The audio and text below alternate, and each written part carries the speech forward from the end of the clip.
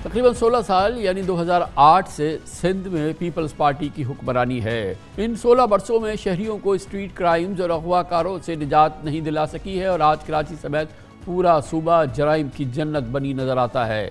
एक तरफ़ अंदरून सिंध में अगवा बर तावान के केसेस ने तहलका मचा रखा है। दूसरी जानब सूबे को पचानवे फ़ीसद रेवेन्यू कमा कर देने वाला कराची और इसके बासी स्ट्रीट क्रिमिनल्स के रहम करम पर मुसलसल हैं। जो इस साल जनवरी से अब तक बयालीस मासूम शहरियों की जान ले चुका है। गोया कराची में हर दूसरे दिन स्ट्रीट क्रिमिनल्स किसी एक शहरी की जान लेते हैं। पिछले ढाई माह में कराची में स्ट्रीट क्राइम्स की सोलह हज़ार वारदातें हुई, यानी शहर में हर घंटे नौ शहरी लूटमार का निशाना बन रहे हैं। इसके अलावा सिंध के कच्चे में सूरत हाल ख़राब से ख़राब तर हो रही है, जहाँ इस साल अब तक अफवा बर तावान के छियासी वाक़ात हुए। सत्ताईस अफराद ताहाल डाकुओं की गिरफ्त में है, जिनमें से छः घोट की, नौ शिकारपुर, चौदह का ताल्लुक काशमोर से है। सिंध की वजारत आलिया के अहदे पर तीसरी मरतबा फाइज होने वाले मुराद अली शाह भी सूबे में लॉ एंड ऑर्डर की सूरत हाल से इंतहाई नाखुश बताए गए हैं। ये मौका तो मुराद अली शाह और उनकी हुकूमत को पिछले 16 साल से हासिल है, मगर उनके दावे अपनी जगह हैं, मगर हकीकत यह है कि इस वक्त कराची समेत सूबे भर में स्ट्रीट क्रिमिनल्स और डाकू बेखौफ तंजनाते फिर रहे हैं। सिंध में डाकू राज और कराची में डकेती मजाहमत पर होने वाली अमवात का मुख्तर अहवाल हम आपको दिखाते हैं। अपने नुमाइंदे जहेब अहमद की इस रिपोर्ट में। अंदरून सिंध हालात की संगीनी का अंदाज़ा इस बात से लगाया जा सकता है कि दो रोज़ कबल एस एस पी घोटकी ने आई जी सिंह को बाकायदा ख़त लिखा, जिसमें घोटकी और कश्मीर के दरमियान कार्रवाइयाँ करने वाले डाकुओं के खिलाफ मुश्तर ऑपरेशन की दरख्वास्त की। दरख्वास्त में कहा गया कि डाकुओं के पास जदीद हथियार हैं और वो खुलेआम पुलिस को धमकियाँ दे रहे हैं। डाकुओं से मुकाबले के लिए पुलिस को मिलिट्री ग्रेड के वेपन्स की ज़रूरत है। ताजुब की बात है कि पिछले कई वर्षों से कच्चे के इलाके में डाकुओं के खिलाफ ऐसे ढाई सौ के करीब ऑपरेशन नाकाम हो चुके हैं। इस पर मजीद बात करते हैं। हमारे साथ मौजूद हैं कराची में हमारे ब्यूरो चीफ तला हाशमी। बहुत बहुत शुक्रिया तला हाशमी साहब। पहले तो ये बताइएगा कि जो सिंध की मजमू सूरत हाल है, जो कच्चे के इलाकों से खबरें आ रही हैं बज़ाहिर तो पहले दिन ही जब मुराद अली शाह साहब ने तीसरी बार वज़ी अल का हल्फ उठाया तो उन्होंने सबसे पहली बात यही की थी कि ये जो जराइम की सूरत हाल है वो काबू से बाहर हो रही है। अब जो ताज़ा तरीन वाक़ात हुए उसके बाद अंदरून ये जो वाक़ात की खबरें आ रही हैं हुकूमत सिंध हुकूमत में क्या इस, इस पर रद्द अमल है?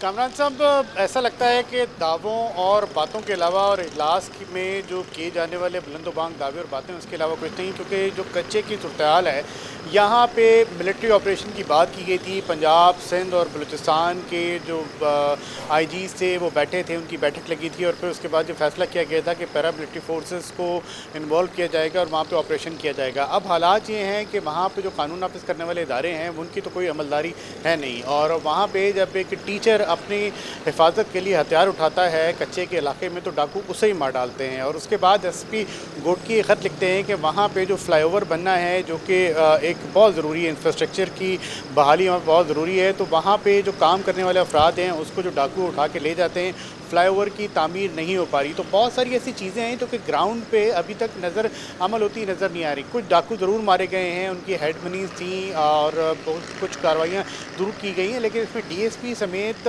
जो सीनियर ऑफिशल्स हैं उनकी शहादतें हुई हैं पुलिस वालों की शहादतें हुई हैं और फिर उसके बाद जो पुलिस पर हमलों का एक ना रुकने वाला सिलसिला है वो जारी है। हुकाम दावे ज़रूर ये करते हैं कि डाकुओं के आगे बंद बाँध दिया गया है लेकिन एक कैसा बंद है जहाँ पर आज़ाद ज़राए दावा करते हैं अखबारी रिपोर्ट्स के मुताबिक कि चार सौ अफराद जो है वो अगवा हो चुके हैं। जो पुलिस हुकाम है वो अस्सी से जायद अफराद का आ, उसको कन्फर्म करते हैं और कहते हैं कि सत्ताईस अफराद अभी भी जो है वो बाजियाब नहीं हो पाए। तमाम जो आज़ाद ज़राएँ वो ये कहते हैं कि तादाद इससे कहीं ज़्यादा जानब कराची की सूरत हाल इसका भी चीफ मिनिस्टर ने जब मुराद अली शाह साहब ने तीसरी बार हल्फ लिया था तो उन्होंने यहाँ के स्ट्रीट क्राइम्स के हवाले से बात की थी। ये तो पंद्रह साल से दस साल से पीपल्स पार्टी की सोलह साल से हुकूमत है। उस उससे उस वक्त से लेके अब तक सूरत हाल मुझे नहीं लगता कहीं पे भी कोई इम्प्रूवमेंट हुई है। हर रोज़ ख़राबी आ रही है।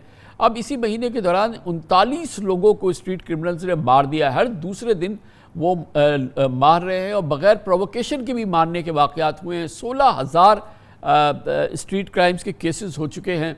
कराची पुलिस क्या कर रही है? क्या मतलब कराची पुलिस के भी सिर्फ़ दावे ही नज़र आते हैं? क्योंकि अगर देखा जाए तो बयालीस अफराद जिनको मारा गया है, उसमें ज़्यादातर नौजवान और ये नौजवान भी वो हैं जो कि स्टूडेंट्स हैं। मतलब ये तो एक तरह की अगर हम इसे कहें तो ये बादी नज़र में इसको नस्ल कुशी कहा जा सकता है, क्योंकि कराची के नौजवानों को जिस तरह मारा जा रहा है। अब एक अकाउंटिंग पर बुक लिखने वाले लड़के को जिस तरह मार दिया गया, चार बच्चों के बाप को जिस तरह मार दिया गया ईसा नगरी पर जो वाक़ात हुए, वो इतने प्रोवोक होते हैं, जो स्ट्रीट क्रिमिनल्स होते हैं, कि वो मारते हुए दरीर भी नहीं करते, जो कुरंगी इंडस्ट्रियल एरिया में वारदात हुई थी, उसमें सारी चीज़ें उसने दे दी थी, फिर भी जाते हुए उन्होंने मार दिया। जो इस तरह की कई वारदातें हैं कि जहाँ पे अब तो जत्थों के जत्थों की सूरत में आते हैं बड़े हथियार। अभी गुजशत दिनों लियारी में एक वारदात हुई थी जिसमें क्लैशन कोफ का इस्तेमाल हुआ, उसकी वीडियो मंजर आम पे आई, लेकिन अभी तक उसमें जो मुलजमान थे वो गिरफ़्तार नहीं किया जा सके। एक मोहतात अंदाजे के मुताबिक जो रिपोर्टेड शराय वारदातों की वो ढाई सौ पर डे है और जो एक आलमी स्टैंडर्ड्स हैं उसके मुताबिक जो जराइम होते हैं, उसमें से सिर्फ़ दस फ़ीसद रिपोर्ट हो पाते हैं। तो अगर ढाई सौ फ़ीसद जराइम रिपोर्ट हो रहे हैं तो ये सोचा जाए कि ढाई हज़ार जराइम कम अज़ कम उन्हें एक मोहताद अंदाजे जो आलमी रेटिंग्स हैं या आलमी जो और ज़ाहिर है कि इंतहाई है। ये नंबर्स है इंतहाई तशवीशनाक सूरत हाल है।